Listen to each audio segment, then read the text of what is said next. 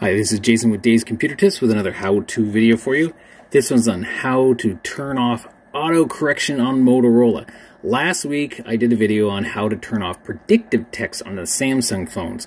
And this time, I wanted to jump on the Motorola and show you how to actually turn off the auto correction, which is kind of like predictive texting on the Motorola phone on my Motorola Edge Android phone. I'm going to show you how to do that here on this. But the um, one I did last week, I'll put a link down below so you can check out how to turn off predictive texting on Samsung. But this week we're going to go for this one, and I'm going to show you how to do that in a minute. But first, um, hit the like on this video, really helps out our channel. Also hit the subscribe and notification bell so you don't miss out on new videos. We come out every Thursday.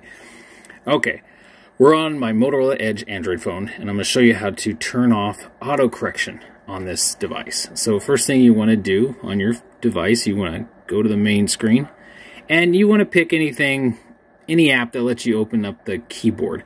I always like go to messages, and that's the easiest way to do it, and then start a chat.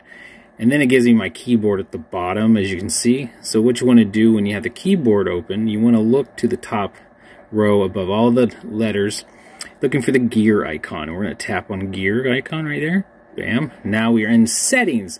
And once you're in settings, you're going to look for the word text correction. The, the That's the fourth one down on my list. You might have to scroll a little bit to find yours, but that's what you're looking for. So we're going to tap on text correction. And once you do that, you're in the text correction menu. This gives you a lot of choices, a lot of things you can work with, like show suggested strip, blah, blah, blah. But we're looking for the corrections section, and that's right down here. And right underneath corrections is auto correction. Correct words while typing. Bam now I just turned it off. So that's how you turn it off. That's kind of like how the Samsung works with this predictive text.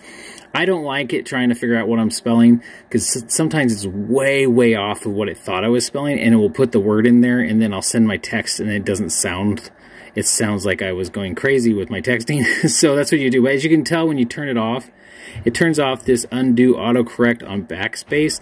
So that's that's a feature it offers when you do the auto correction so you can turn that back on.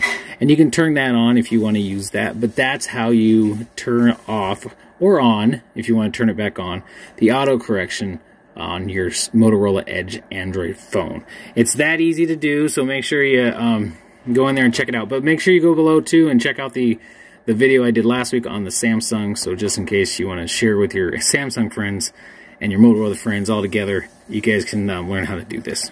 Thanks for watching. Make sure to check out davescomputertips.com. That's where all our articles are, and also make sure you subscribe to this channel. Thanks for watching.